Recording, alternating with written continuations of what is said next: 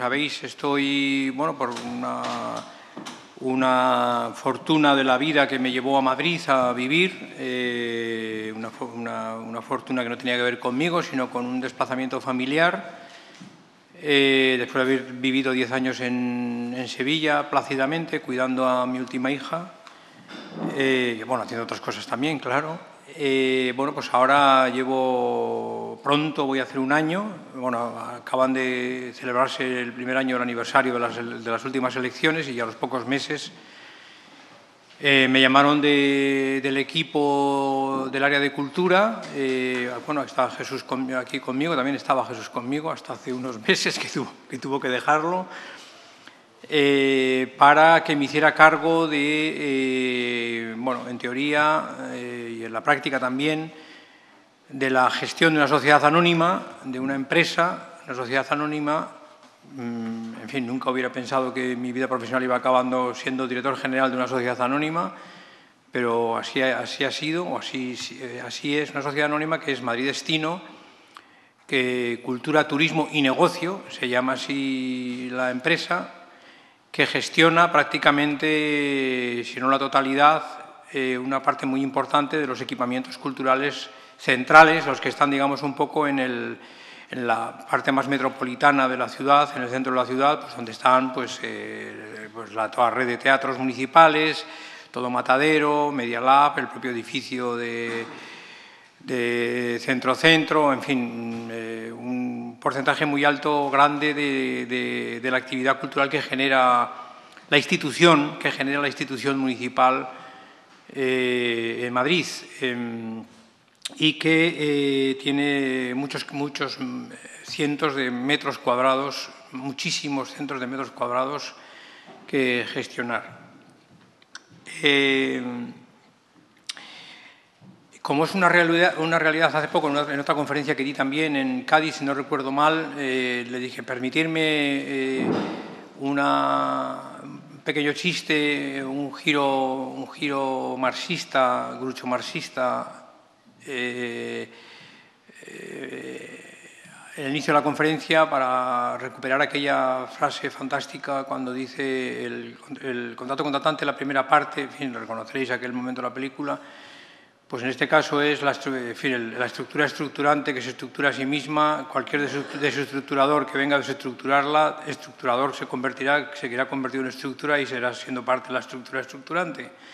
En estas paradojas, digamos, de una realidad difícil de transformar y sobre todo cuando es una realidad que está sustancialmente inscrita, digamos, en una, en una ideología eh, liberalizadora de los servicios, eh, de los servicios públicos, pues los procesos de transformación están siendo mucho más lentos de lo que uno quisiera, a pesar de que también en broma y también haciendo un chiste, por lo menos una, paráfrasis de, alguno, algún chiste, en este caso de Woody Allen, aunque uno se levanta todas las mañanas con esperanza, eh, acaba uno acostándose con frustración. Entonces, eh, en ese camino, digamos, un poco de las dificultades, eh, ahora mismo, eh, hablar de fábricas de creación, sabiendo, como sabéis, que yo vengo precisamente de, una experiencia como la de Artelecu, que para mí sigue siendo una experiencia inigualable, eh, imitable, pero difícilmente reproducible por lo que veo, y sin embargo creo que podría ser fácilmente imitable, pero no sé por qué no acaba de cuajar, los modelos que surgen son todos muy distintos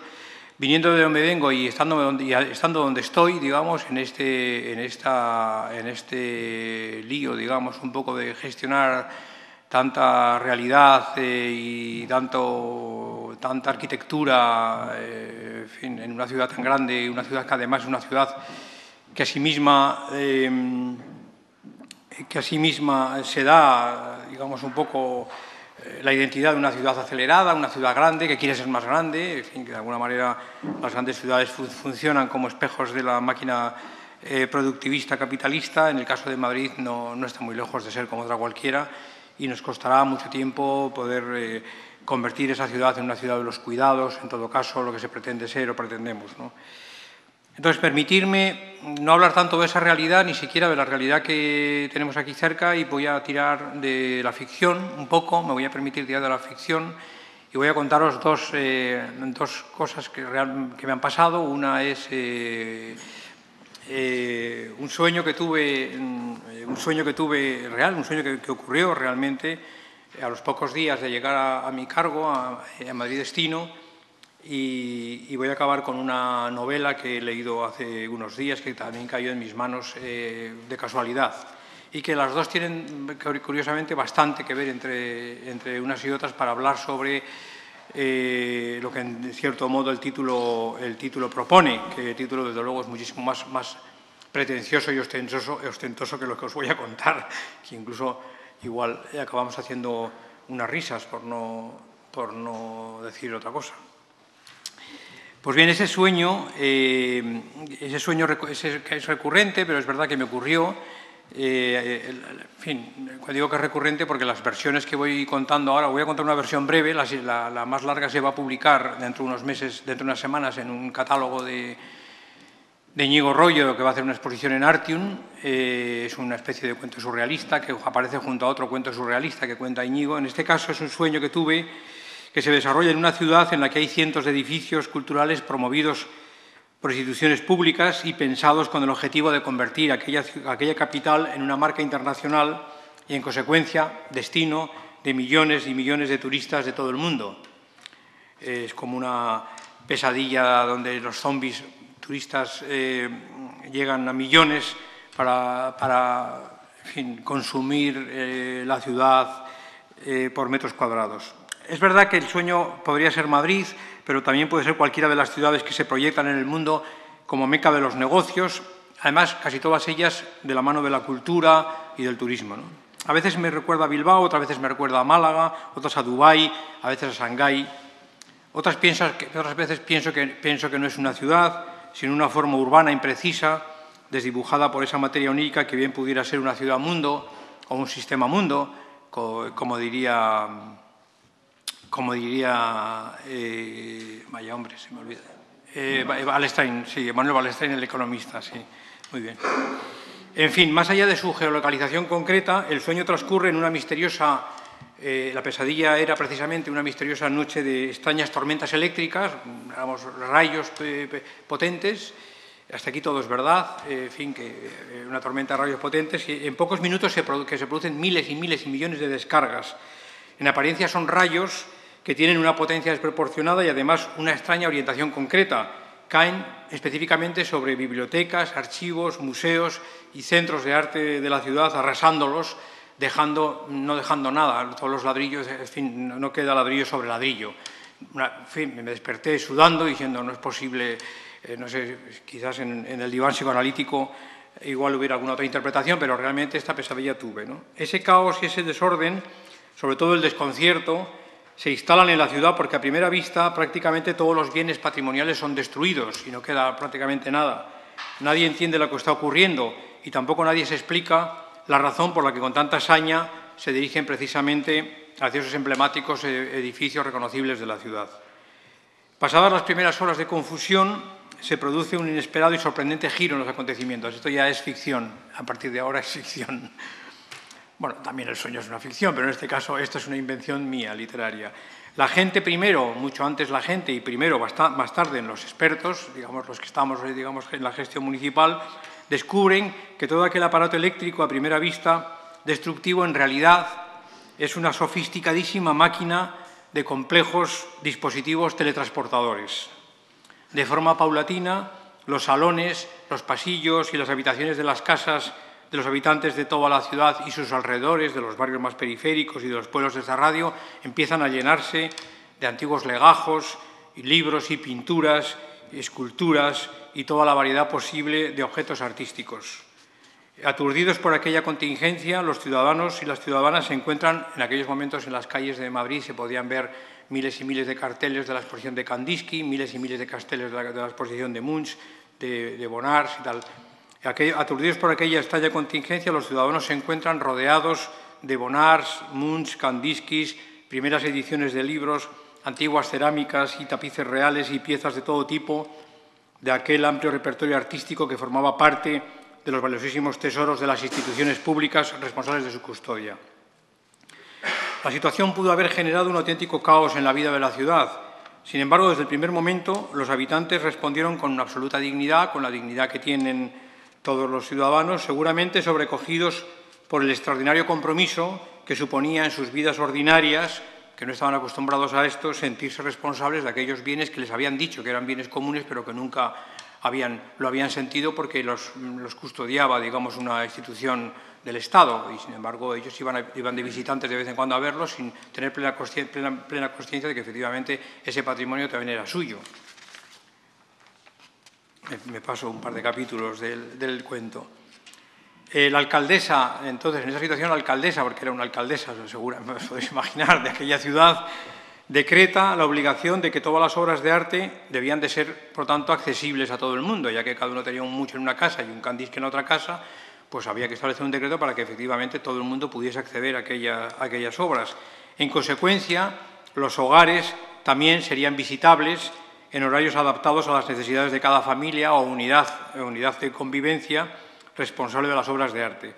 Es decir, las viviendas de unos debieran estar abiertas a los otros con el fin de permitir la circulación libre y voluntaria de todas las personas.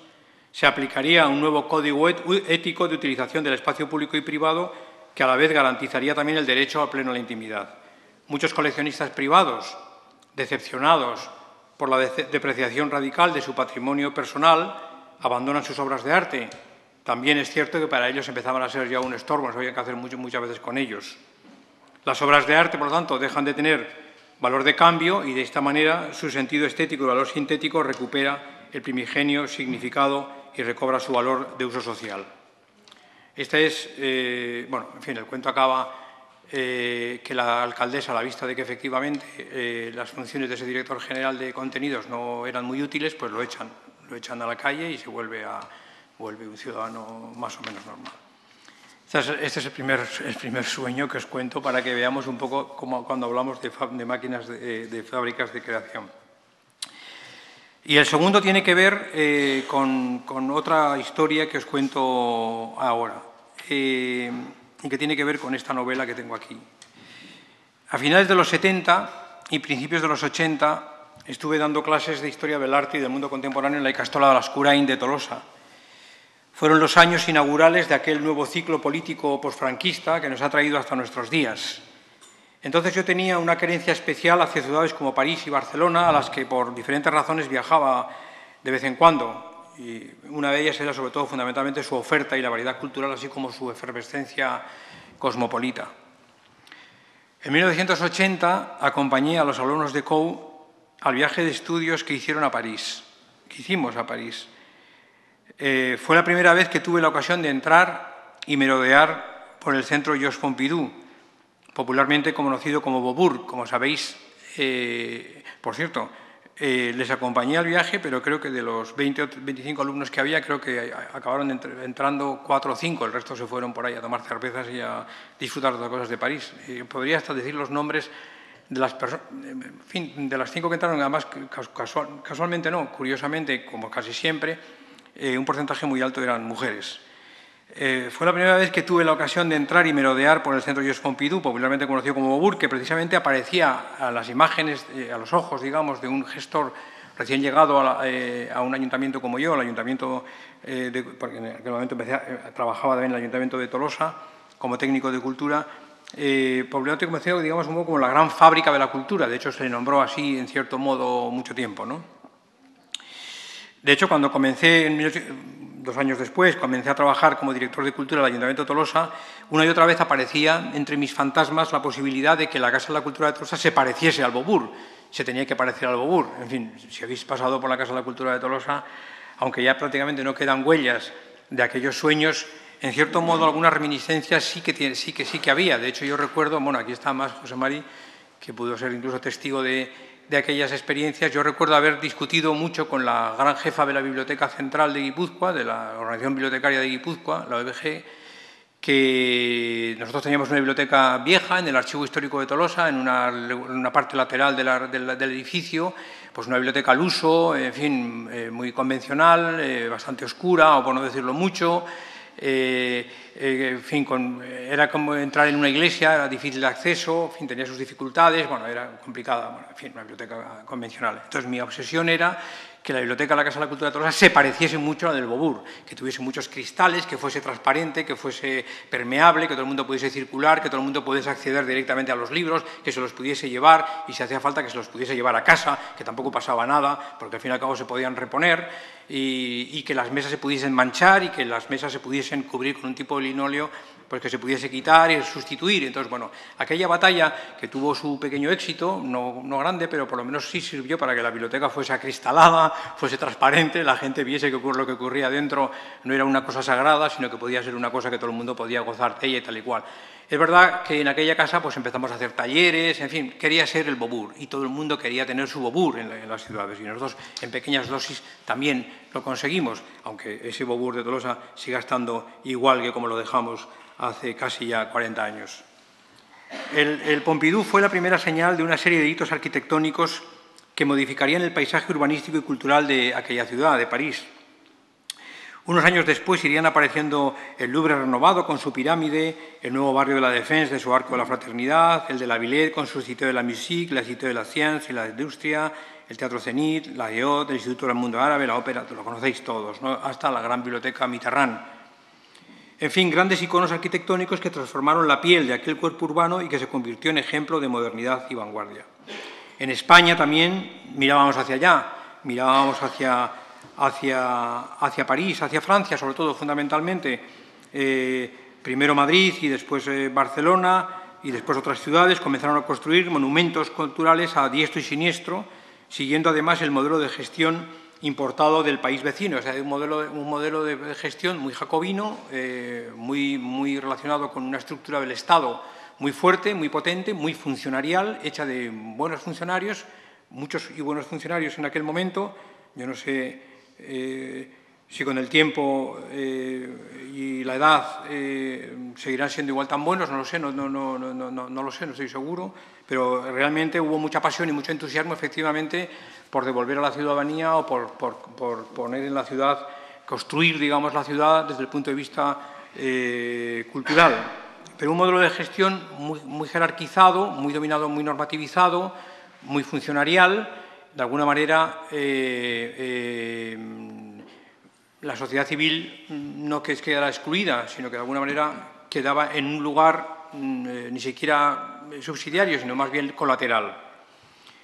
Bueno, eh, sabéis, el mismo año que se inauguró, curiosamente, Artelecu, que no era un monumento, sino que era una pequeña fábrica eh, lateral, periférica, en una ciudad periférica, en el marco de un sistema cultural también periférico, en nuestro caso, en la periferia del sistema cultural, lo hizo el Reina Sofía, el, Iván en el 86, el, el, Iván en el 89, más tarde el MACBA en el 95, después el CCB, el MUSAC, Matadero, etcétera, en fin. Y por fin el Guggenheim de Bilbao, inaugurado hace ya casi 10 años, que aparece como el paradigma eh, de esa monumentalización y espectacularización de la cultura eh, que se hace paulatinamente mm, en la, en la cultura artística española. Y por fin, probablemente ahora, la última tabacalera que tiene la desdicha de haber atravesado, desde mi punto de vista, la desdicha de haber atravesado los 10 años de crisis, bueno, en el año 2000, cuando el Ayuntamiento de, de, de cuando el Ayuntamiento de, de San Sebastián, de Donosti, recibió eh, Altadis, le devolvió, digamos, un poco la fábrica, la fábrica de, tabacalera, eh, quizás, yo no se lo recuerdo y una y otra vez, el gran error fue, bueno, el gran error, quizás la gran cuestión que no se planteó en su momento es la pregunta que se tuvo que haber hecho para responder a qué hubiera ocurrido con aquel edificio en lugar de haber afirmado, como estaba entonces de moda, que esto tiene que ser para la cultura. ¿no? Dijo, bueno, Tabacalera, esto va a ser un centro de arte de cultura contemporánea enorme, fantástico, estupendo, eso sí, distinto y diferente al Guggenheim, pero fantástico y diferente. ¿no? Quizás si hubiésemos hecho otra pregunta, si hubiésemos dicho, ¿esto para qué? ¿Esto que está aquí, para qué lo utilizamos? ¿no? Pues igual las respuestas hubiesen sido más polisémicas, más polimorfas, incluso más poliédricas o incluso, en fin, eh, distintas. Pero bueno, ahí está padeciendo eh, seguramente y también disfrutando de las grandezas y las contradicciones de este sistema heredado de un tipo de cultura monumentalizada, eh, regulada, normativizada y construida, digamos, un poco desde fuertes aparatos eh, del Estado. ¿no? Eh, y a pesar de ello, todavía en algunas otras ciudades siguen insistiendo, porque de hecho en Sevilla, en mi ciudad anterior, también hay una fábrica de cañones, en este caso una artillería, una fábrica de armas, que también la van a convertir, por cómo no, en un centro de arte contemporáneo, de cultura contemporánea, de cultura contemporánea en el sentido más amplio de la palabra. Durante los tiempos de bonanza económica, el crecimiento de las inversiones públicas en aquel momento en el sector de la cultura no dejó de crecer. Eh, tener en cuenta que em, el paradigma de este tipo de ciudad eh, vinculada, digamos, un a la marca cultural, no es ajena, eh, ni siquiera es inocente en relación, digamos, un poco a las políticas inmobiliarias que desarrollan esas mismas ciudades. Es decir, eh, ese crecimiento de lo que yo llamo burbuja cultural, que también hay un texto que publiqué hace tiempo, antes de que hiciese de la capital europea a la cultura, eh, remite también, digamos, un poco a ese sentido, digamos, un poco de corresponsabilidad a la hora de pensar qué modelos de ciudad hemos ido construyendo. ¿no? Eh, no dejó de crecer y el modelo de gestión que implantamos para hacer funcionar todo ese parque cultural tenía medios para sufragar los gastos de mantenimiento de toda la maquinaria y además sobraba para contratar servicios y colaborar con la sociedad civil creativa, que en definitiva era su motor principal, porque al fin y al cabo eh, todos aquellos equipamientos estaban o están destinados fundamentalmente en gran medida a favorecer la mediación de la investigación, de la producción y la distribución de los bienes artísticos que los generan los artistas, los creadores, los músicos, los poetas, eh, en fin, los artistas, eh, los pintores, en fin, los, creadores en el sentido más amplio de la palabra, parecía que se había establecido en aquel momento una especie de pacto de equilibrio entre las, necesidades del sector público y, digamos, la iniciativa privada, privada, creativa. Existía, digamos, una especie de consenso de que todo iba bien y de que efectivamente en la fiesta todos de alguna manera recibían eh, la parte que les correspondía para poder haciendo su trabajo, seguir haciendo sus trabajos con, dignidad. Sin embargo, a partir del año 2008 se, se, empiezan a cerrar empresas, pequeñas empresas, hablo de pequeñas empresas, pequeñas pymes, trabajadores de tres, cuatro trabajadores, pequeñas cooperativas, sociedades, se clausuran programas, eh, se precariza el trabajo de los artistas hasta límites eh, extraordinarios y en algunos casos inadmisibles, se externalizan eh, servicios públicos, eh, los servicios de mediación, los servicios de comunicación, los servicios de limpieza, se externalizan los servicios de las instituciones y poco a, poco, nuestro tejido profesional se deshilacha, eh, mejor dicho, aunque en cierta medida nos afecta a todos, esa descomposición, esa descomposición golpea mucho más al eslabón más débil, al, último eslabón de la cadena, que precisamente es el primer eslabón, de la, debería de ser el primer eslabón de la cadena eh, y no al revés, como desafortunadamente eh, eh, ahora ocurre. ahora mismo, hace poco también, leí ayer, si no recuerdo mal, el Museo Arte Contemporáneo de, Barcelona, el MACBA, la plataforma de la cultura, ha emitido un, comunicado reclamando, digamos, un poco que los procesos de externalización, que las instituciones públicas recuperen, digamos, un poco el sentido público del trabajo de muchos de los trabajadores, en fin, una eterna pelea que no creo que se resuelva fácilmente. No dudo de que la complejidad de las ciudades actuales pueden y seguramente deben caber todo tipo de instituciones culturales, grandes, muy grandes si queréis, eh, pequeñas, públicas, privadas, cooperativas, espacios autogestionados. Pero hay que determinar desde mi punto de vista cuánto se dedican a unas y cuánto a otras porque no da para todos. No da para todos. Es que no da, no llega para todos y realmente creo que hay que pensarse seriamente un sistema, una nueva forma de redistribución que, en cierto modo, eh, eh, eh, iba a decir sanen las heridas, pero no sé si el término exacto sería este. con la estrategia del café para todos está claro que las iniciativas más débiles son las que siempre salen perdiendo, esas que son fundamentalmente donde se fabrican subjetividades, donde se producen nuevas, nuevas narraciones, donde se genera, digamos, un poco esa vida.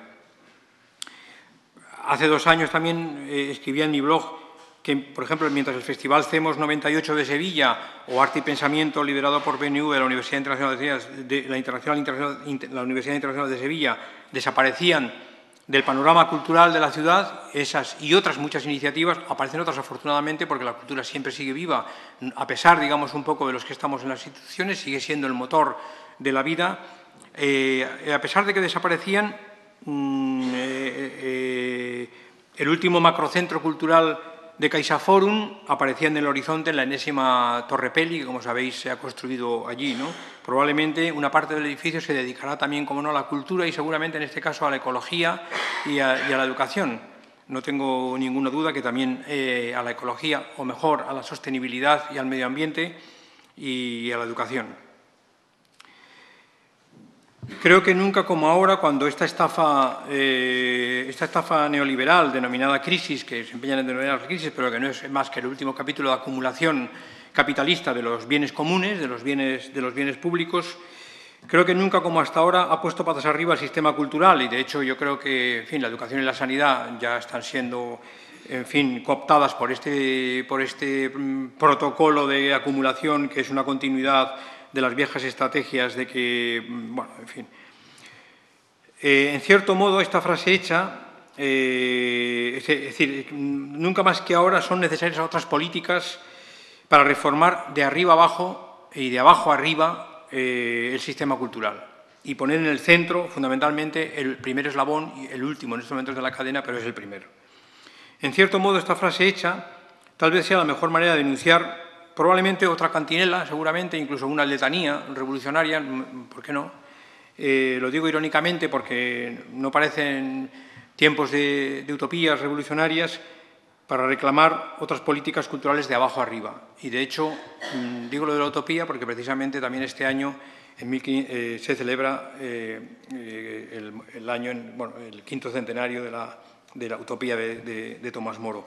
Y ahí en la utopía, precisamente hace dos semanas, en la librería sevillana La Fuga, hablando con mi amigo Luis, en una pequeña librería mm, que sobrevive eh, con el trabajo de su, de su inmenso trabajo, de, su inmensa, de su inmensa labor, una librería eh, autogestionada, Hablando con mi amigo Luis sobre un nuevo proyecto autogestionado en el que se acababa de meter, mm, han, alquilado un local grande en la, calle Pasaje Mayor para mm, varios, varios espacios autogestionados poder trabajar y colaborar juntos en forma colaborativa y poder desarrollar, digamos, otra iniciativa al lado de otra que hay ahí al lado, en la, que se llama Tramayol, otro espacio también muy interesante.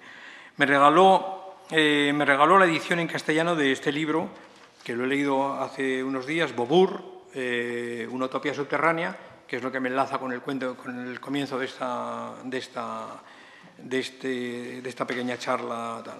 El libro lo terminé hace unos días. Su autor es Albert Meinster, eh, un reputado sociólogo especialista en autogestión y comunidades asociativas, profesor, fue profesor en la École Hautes Études de París, que de París, la Escuela de Estudios de París, que murió en Japón en 1982, prácticamente desconocido, a pesar de que él era un hombre eh, bastante reconocido en su momento. De hecho, había escrito anteriormente un libro también premonitorio que se llamaba La inflación creativa, precisamente a propósito de esa cooptación que la creatividad había tenido por parte de las industrias culturales y por parte, digamos, un poco de, la, de, esa Europa eh, creativa que, en cierto modo, eh, domina el paisaje, digamos, de, la cultura actualmente.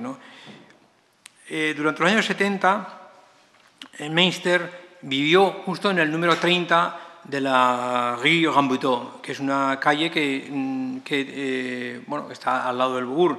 Desde su balcón eh, tenía una perspectiva tan privilegiada de las obras de construcción del centro Beaubourg que en ocasiones los periodistas se colaban en su casa para documentar el proceso. Por tanto, Meinster escribió y publicó su texto directamente sobre el agujero dejado por las excavadoras de aquella fábrica, aquella nueva fábrica paradigma de la nueva cultura europea.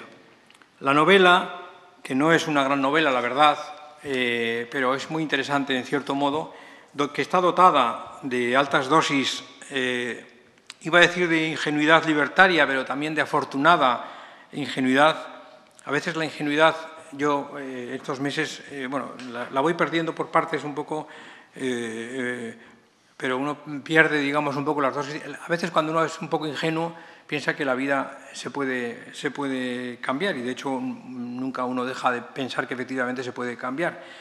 Pero a veces hay realidades que a uno le dejan, le dejan eh, un poco con la frustración. Cuenta la historia, eh, la novela cuenta la historia de un centro cultural. Eh, bueno, el, autor, el, personaje es un científico que tiene un sistema de de creación, una especie de, bueno, como si fuese una impresora 3D prácticamente, una actual impresora 3D, de hecho es como una impresora 3D pero más sofisticada, que lo que hace es reproducir eh, espacios eh, a través de un sistema matérico que no sabría muy bien cómo describirlo, la novela se describe bien, eh, que realmente lo que consigue es construir debajo del Bobur, debajo de la fábrica del Bobur, construye un centro cultural de 53 plantas que se construye debajo. Entonces, la, historia es la historia de esas 53 plantas que ocurren debajo del Bobur. Eh, por supuesto, es un centro cultural, es muy divertido porque cuenta absolutamente, en fin, todas las dificultades. Bueno, ya, aparecen todos los clichés eh, del anarquismo asambleario, las contradicciones de una gobernanza sin liderazgos, las dificultades económicas para financiar las actividades y, sin embargo, a pesar de ello, durante 14 años vive, la, experiencia sobrevive y sobrevive además sobrevive eh, más o menos feliz. En fin, la primera ocupación la hacen unos moteros, eh, entonces eh, los que están arriba que hacen cerámica tienen que combatir con los moteros porque el ruido, los, al final los moteros se juntan en la asamblea y deciden irse a, hacer sus actividades de motos en la, en la última planta de abajo, que es la menos ruidosa. En fin, la convivencia se va construyendo con la realidad, con los antagonismos, se gestionan los antagonismos y las realidades se van configurando en función un poco de ese diálogo que se establece entre lo posible y lo imposible. Todos los cambios culturales, los signos de un nuevo tiempo, la revolución de la vida cotidiana, estaban saliendo precisamente de aquel subterráneo que a modo de Pompidou invertido daba las claves de la nueva hora, implantando desde abajo, literalmente desde muy abajo, las transformaciones sociales que operaban sobre la vida cotidiana. Ese soi-disant eh, utopie, porque el libro en castellano se dice, eh, se titula Beauvoir, una utopía subterránea, pero en francés introduce un matiz, un matiz, digamos, que se distancia, digamos, del concepto de utopía, porque se llama soi-disant utopie, que es así, la, llamada así utopía eh, del centro Beauvoir, como dice el título original de la novela, conformaría una suerte de repertorio, conforma en su momento una suerte de repertorio sobre los cambios culturales de aquella época.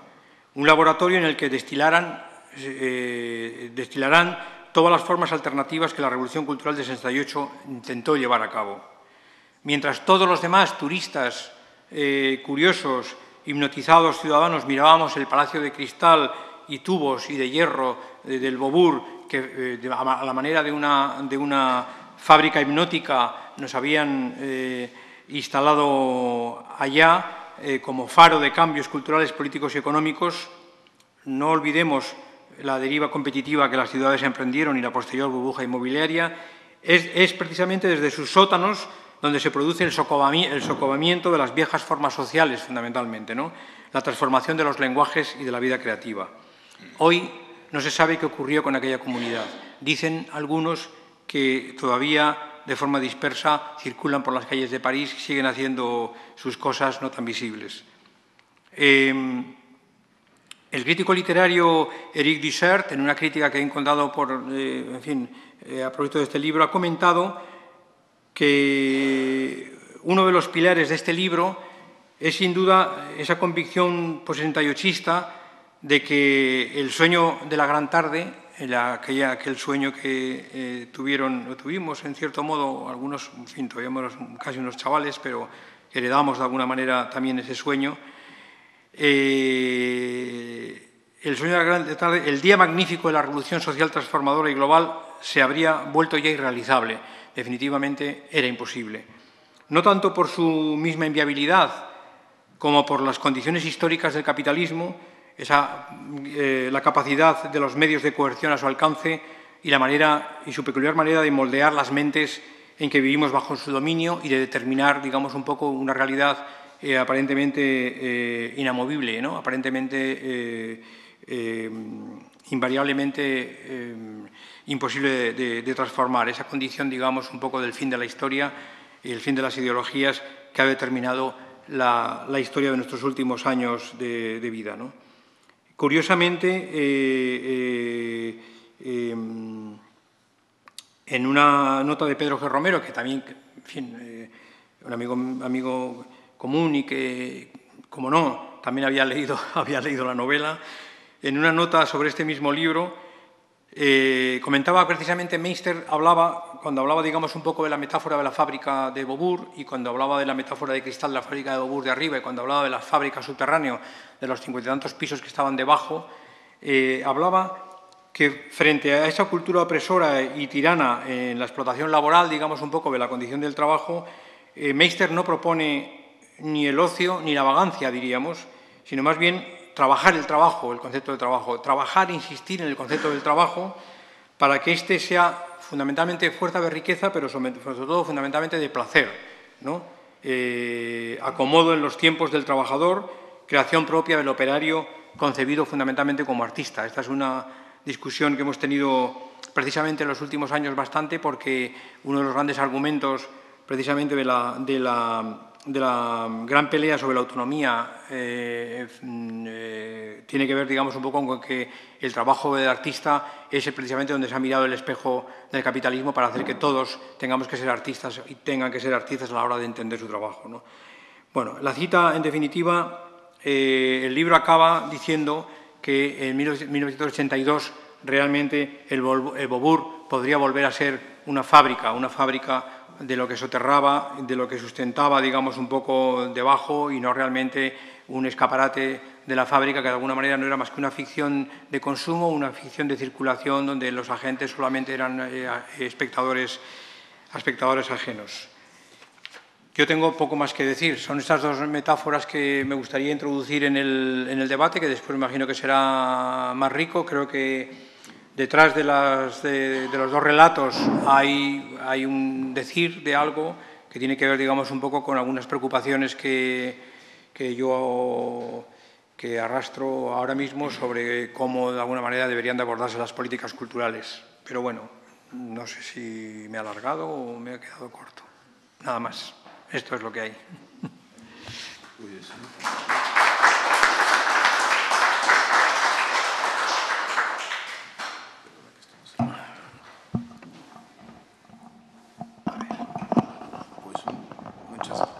Muchas gracias, Santi. No has medido perfectamente el tiempo, así que tenemos, tenemos un buen rato para dialogar, ¿eh? incluso un cuarto de hora como mínimo. ¿Quién, se anima a, intervenir? Empiezo yo entonces de oficio. ¿eh? O sea que, bien, eh, no, pues vamos a ver, ahí sueños y pesadillas, o sea, las, diríamos Mm, hay una, algo que, que a mí me, llama la atención en la, en la arquitectura en general y es la tendencia a la desaparición de las fachadas ¿no? y a su sustitución por grandes pantallas audiovisuales, ¿eh? Eh, diríamos que son de, son, es arte también, dicen que es arte, ¿no? O sea que pero, pero, pero que esto se aprecia pues ya, no sé, en Times Square o en, Tokio sobre todo, ¿no? Y parece que eso es una, una tendencia, eh, vamos, que viene, ¿no? O sea, que viene y, diríamos, eh, porque claro, el Beaubourg de todos modos tiene, tiene acabo de estar, ¿eh? o sea, que me, entonces acabo de estar en París a finales de abril y primeros de mayo. recuerdo cuando yo vivía en París ya hace muchos años, eh, el gran agujero, el Bobú fue un gran agujero, pero el gran agujero es Leal. ¿eh? Leal, vamos, eso fue un destrozo monumental, ¿no? Leal era, era la, claro, ahí está. entonces, ahora eh, el Bobur se mantiene, ¿no? Con, digamos, sacando las tripas de la época industrial, pero Leal es un auténtico horror. ¿Eh? o sea, el Leal actual, ¿no? y, lo quieren eh, constituir en el centro de, la ciudad. O sea, hay, un, eh, hay una, tarea de, cinco o seis años ¿no? hasta convertirlo en el nuevo centro de la ciudad. Es un gran proyecto urbanístico costosísimo, gigantesco. Nos alojamos casualmente en la calle Gambito, como es, nosotros, Belén y yo. Y, bueno, pues entonces diríamos a mí el, el sueño pesadilla me produce eh, cuando ya eh, todas las fachadas, eh, no, es el 1984, o sea, de, Orwell, sino en el momento en que, las fachadas de los edificios, de los edificios culturales, estén ya plagadas por, por imágenes de diseño audiovisual que suscita emociones, y esta, esta es la pregunta. O sea, yo creo que el capitalismo del que hablas, y con toda la razón, si algo, si algo ha evolucionado en, en las tecnologías de la información y la comunicación, es la, capacidad de capitalizar las emociones, eh, acumular y capitalizar las emociones. Eh, obviamente, digamos, eh, este, esta, la pantalla, acaba, acaba de publicarse un libro sobre la historia de la pantalla, eh, de un, vamos, un doctorando mío, que yo no he tenido nada que ver, ¿eh? en el libro es, todo obra suya, de Israel Vázquez, en Anagrama, que te, lo aconsejo que le eches un vistazo. Entonces dice que la pantalla es, es un artefacto, eh, digamos, devorador, devorador de todo. O sea, la, pantalla lo traga todo. Cualquier otra forma cultural, cualquier otra forma artística, tarde o temprano pasa por la pantalla. ¿no? Es, el, es el gran monstruo de, de nuestra época. ¿no? Y entonces, claro, eh, las pantallas ya se están tragando las, las, eh, fachadas de los edificios, se están tragando la arquitectura y, bueno, pues se tragan también nuestras casas. Yo conozco arquitectas muy sofisticadas en Madrid que, su, casa ya es, todo, la cocina en concreto eh, es, es, todo pantalla, ¿no? Entonces te quería preguntar por eso, porque a mí, a mí el sueño, la pesadilla que más me obsesiona probablemente es, esa, ¿no? o sea, digamos, la pantallización eh, de, toda modalidad de arte, en general la, visibilización, ¿eh? o sea, digamos que es algo terrorífico esto de que, de que solo, solo una institución, si no es visible, supongo que, que tú como gestor de espacios culturales en Madrid, pues te pedirán visibilidad, ¿eh? o sea, en medios de, comunicación, en la prensa, etcétera, ¿no? Entonces esta, esta, esta tendencia, que es obviamente del capitalismo, a convertirlo todo en imagen, hacerlo todo visible, las prácticas artísticas, eh, las prácticas científicas también, la ciencia es, todo, todo, visibilización, y la propia ciudad. Eh, o sea que esa, es mi, gran, mi gran pesadilla. Entonces no sé, no sé si sintonizas con esa pesadilla, eh, pero conforme tú evocabas estos dos sueños, vamos, el sueño y la novela, a mí me, continuamente me venían imágenes de esta, esta pesadilla mía en donde diríamos eh, todos eh, los seres humanos somos convertidos simplemente en imágenes, ¿no? en máscaras de nosotros mismos, eh, las ciudades también, y, todo es, el, futuro, el futuro del arte. ¿no? O sea, entonces, no sé, no sé si se te ocurre algún comentario al respecto. Bueno, bueno curiosamente la ciudad se estetiza, se estetiza quiero decir, eh, a costa, digamos, un poco de la criminalización, digamos, de las minúsculas eh, eh, expresiones radicales de existencia. O sea, mientras las paredes de, los, de las ciudades se llenan, de, iba a decir, incluso de mm, pornografía en el sentido más radical de la palabra, no tanto en el sentido, en fin, más placentero que pudiera tener, digamos, un poco la expresión, eh, se sigue criminalizando, por ejemplo, los grafiteros, bueno, aunque también, en cierto modo, algunos grafiteros, o siguen criminalizando algunas prácticas urbanas de, resistencia o de disidencia, ¿no? Eh, las que tienen que ver, digamos, un poco con esa especie de entramado subterráneo que construye otro tipo de ciudad, que no es la ciudad de la apariencia, que no es la ciudad de la, la, ciudad de tal. Entonces, eh, es muy curioso porque si llego a saber, estoy ahora recopilando imágenes de este tipo de fachadas en, bueno, en Madrid y otro tipo de imágenes, pero el otro día pasé por una de... Bueno, el Corte Inglés en castellana tiene una fachada enorme, eh, vamos, monumental, y lo que me, realmente me sorprendió es que fuera posible que una imagen como aquella, que era una mujer en actitud eh, de, más o menos... Eh, era un coche, si no recuerdo mal, eh, que vendía una prenda, un coche y una prenda. bueno, desde mi punto de vista era una imagen absolutamente, bueno, en fin... Mm, eh, vergonzosa, ¿no? en el sentido de que eh, instrumentalizaba, digamos, la, el, instrumentaba el cuerpo de la mujer para, bueno, el clásico discurso sobre, digamos, un poco la mujer como, como, como objeto, ¿no?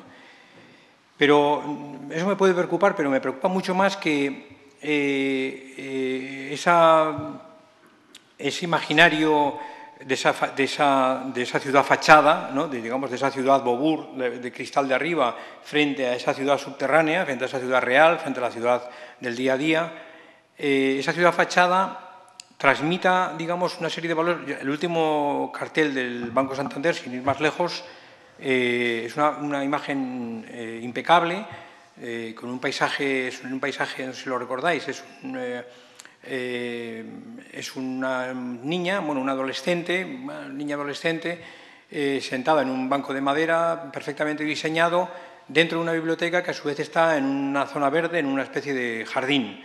Es decir, el paisaje de fondo es un verde ecológico y donde está es una biblioteca que está estudiando. Y lo que está el Banco Santander es vendiendo de un poco, un poco las ofertas que hace el Banco Santander para sus becas de estudio sus becas de estudio. ¿no? Claro, esto, viéndolo así, pues puede parecer una buena publicidad. Si, traspasas, digamos, un poco el contenido formal de, la imagen y analizas lo que hay detrás, pues te dices, bueno, mm, francamente, ¿qué me está contando?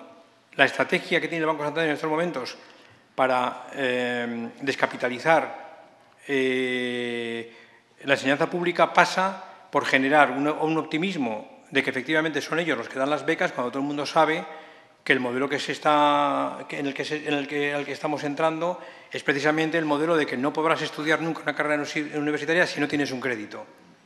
Es decir, es el modelo, digamos, un poco eh, latinoamericano. Es decir, te venden la moto de que efectivamente ellos son los grandes patronos del mecenazgo educativo actual y encima ecológico, ¿no? verde ecológico, educación y ecología, y sin embargo no ponemos sobre el tapete la parte subterránea de esa imagen, que es que el Banco Santander en estos momentos en Latinoamérica es probablemente el primer banco, igual me equivoco, ¿no? pero si no es el primero, será los primeros bancos que está precisamente poniendo en marcha, como ya se hizo anteriormente, eh, después de Friedman en Chile y compañía, el último capítulo de eh, reapropiación de la, de, la, de la, educación como la educación pública. Y, de hecho, probablemente nuestros hijos o nuestras hijas no podrán estudiar si no se hipotecan ya desde ahora y no tienen una, hipoteca para poder estudiar una, carrera universitaria.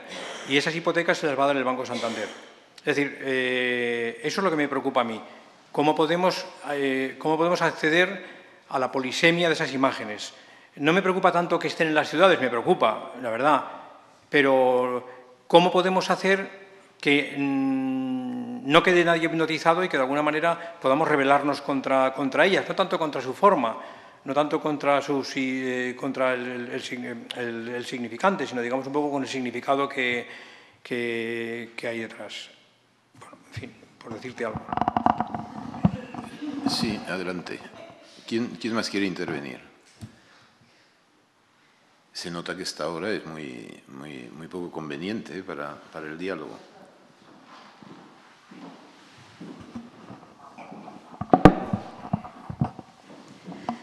Mm, bueno, para dos cosas. Eh, para poder ver el significado ¿no? de lo que tú has dicho ahora, de esas pantallas, para ver lo que hay detrás, eh, la única forma es la educación, porque si no estamos educados, no somos críticos, no podemos ver lo que hay detrás y nos tragamos la, imagen ¿no? que quieren vendernos. Entonces, eh, lo que has comentado antes sobre tu sueño o sobre tu pesadilla, eh, lo de que la cultura salga de, los templos y que llegue a, los hogares, a todos los hogares, ¿cómo puede hacerse eso? Para que eso cambie, para que no, no sigamos en, la línea de, que esté atrapada en, pues, en los templos o los museos y que sea accesible a todo el mundo y que llegue a la educación realmente, ¿no? A la educación de, los jóvenes, que son los que ven esos carteles y, se los pueden tragar.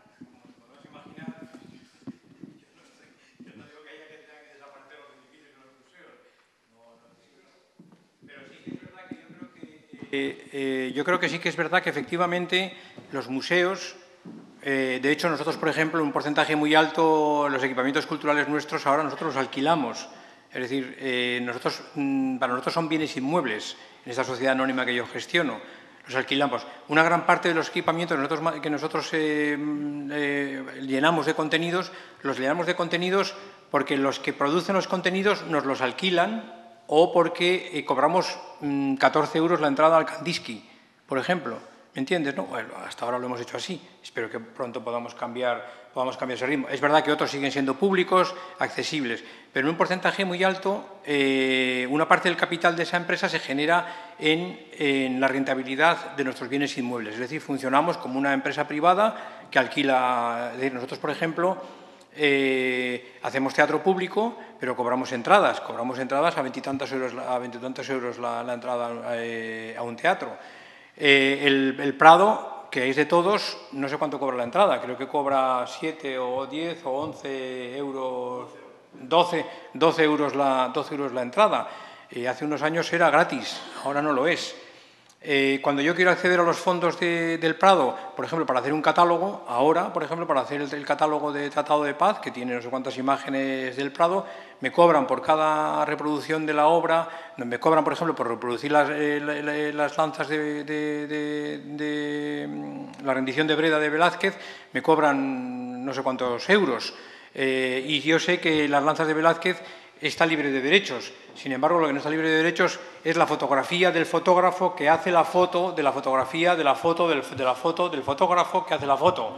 Pero al final uno acaba pagando 60 euros. Es decir, eh, bueno, mm, eh, afortunadamente, el otro día me contaban que, por ejemplo, en el Reina Sofía, ahora, por primera vez, ya se pueden disponer de algunos de los catálogos online. Hasta hace poco era, era imposible. Pues ahora se pueden disponer catálogos online. Es decir, que eh, eh, no vamos a destruir los, eh, no van a caer rayos sobre los edificios, pero hay muchísimas fórmulas para volver a recuperar el sentido público este, que, prácticamente está desapareciendo. Ahora mismo las, instituciones públicas,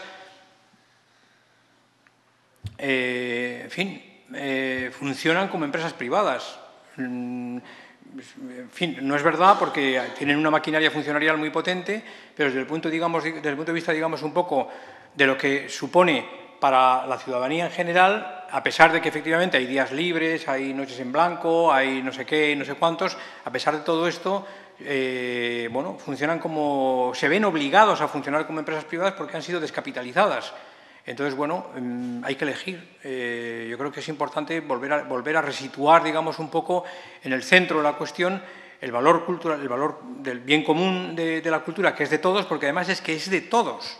Es decir, que lo que hay en el Prado es tuyo y es mío, es que es nuestro es nuestro, por lo tanto, no sé por qué tenemos que pagar impuestos para mantener el Prado y encima además tenemos que, cada vez que os hago del Prado, Miguel Zubaza como me diga, me, da igual, me da igual, lo mismo Manolo Borja y, otras muchas, pagamos impuestos para mantenerlos, para mantener la maquinaria, pero además pagamos para poder entrar y además pagamos para poder usar sus catálogos, podemos, podemos para comprar los catálogos que ni siquiera están online, porque hay que pagar los derechos de autor para poder ponerlos a libre disposición. Y no hablo de autores vivos que pueden perfectamente cobrar sus derechos de autor, sino de autores que ya son de dominio público. Es decir, la cadena, digamos, un poco de la economía privatizadora del sector público es ya enorme, es ya enorme. Y la vuelta atrás es muy difícil. Yo apuesto por esa vuelta atrás, no apuesto por disolver el BOBUR, porque es imposible, evidentemente, pero sí de resituarlo otra vez. Para mí, a mí me parece muy importante y creo que debería hacerse un esfuerzo por volver a, repensar esa economía de la cultura.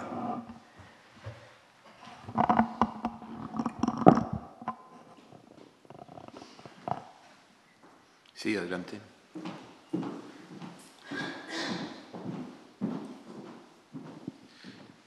Sí, solo quería llamar la atención más que sobre el contenido que, y las conclusiones que seguramente compartimos todos, es sobre el, modo que utilizan los tropos. Es curioso que en el 500 aniversario de, Tomás Moro, digamos, eh, de repente vuelvan a, ponerse de moda los tropos lucianescos, humanistas, de, utilizar eh, el sueño o la pesadilla, por un lado, y luego el mundo al revés, eh, como único modo de, digamos, de agitar las conciencias. Y no es simplemente una reflexión eh, respecto al modo en el que planteas eh, las dos alternativas que aparecen exclusivamente como pesadilla, o sea, como fruto de un sueño, donde, o aparecen exclusivamente como reverso de la, realidad. Y no sé si podríamos hacerlo al revés.